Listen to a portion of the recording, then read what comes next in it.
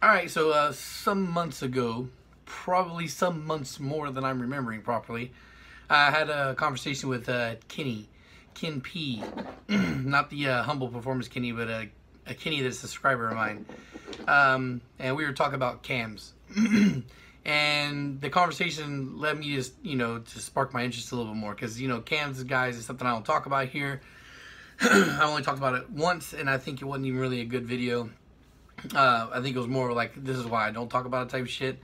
But after having that conversation, it, it kind of made me curious. Like I said, I think I might have said this even recently. Like the only time I care about math is when it starts coming to numbers for engines, and I love shit like that. Um, so it's, it's it's piqued my interest, and I just I just kind of like fell away from it because it's stuff that I had had to devote some time to look into. So that's why I didn't talk about it, and I just haven't because I've just been busy with a whole bunch of shit.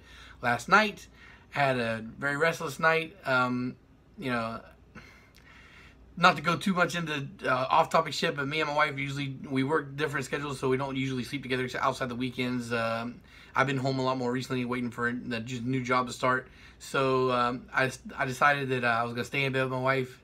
You know, even though I couldn't fucking sleep, this led to me being in bed for four hours sleepless. So after the first hour, I kind of tapped out and gave up, and I got my phone out and I started going over numbers and shit. and I came up with three videos I want to shoot today. And the reason why I'm doing these all is one shots and not back to back is for two reasons. One, longer videos don't tend to hold traffic and I want all the information to get out. And two, for searchability. I want these to have their own focal points that way when people search for these topics they're easier to find instead of finding one video that you have to dig through a whole lot of content. Um, so, getting into that, the one we're going to talk about first is B18, B20 cam upgrades.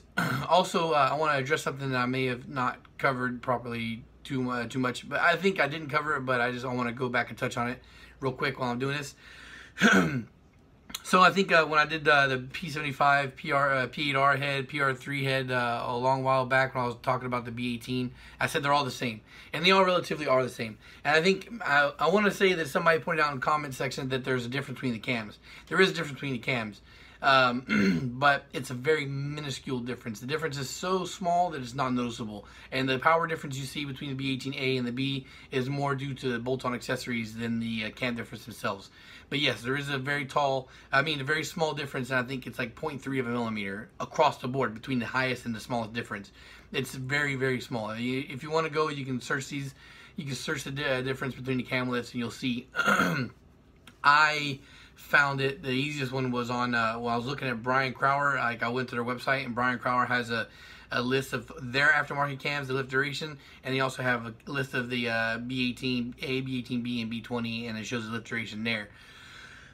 so anyway, um, I think I, I, wanted to talk about real quick was the B18B. Ah, fucking, that's the one I didn't sell it. I didn't send.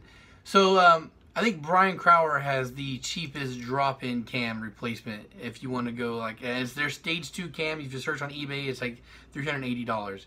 That's really good. When you can look at the uh, you know the price of all the other cams, uh, you're looking at like four hundred fifty plus for a stage one cam for the VTECs and shit. So for the stage um, stage two, which is the stage one, I guess, of NA for Brian Crower is three hundred eighty bucks.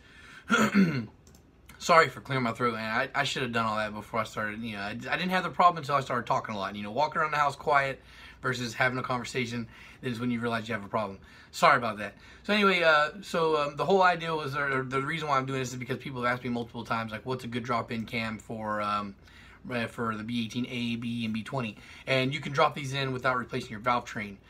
Um, and okay, so the increase, the increase, what I can see on here, or the, what the lift duration is is uh, 1074 and 1049. I'm now from wherever every place I've seen it, they always lift intake and then exhaust.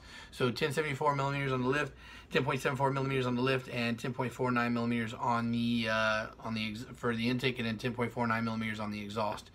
That is about a millimeter increase over the stock. and for those of you guys that saw me posted on uh, Instagram last night when I was saying, you know, like expectations for increase of horsepower.